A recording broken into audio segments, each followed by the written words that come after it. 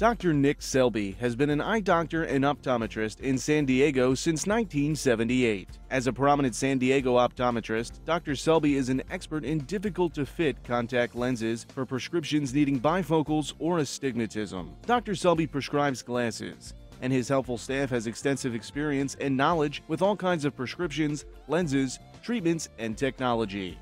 You know you're in good hands with Dr. Selby. Call today for an appointment.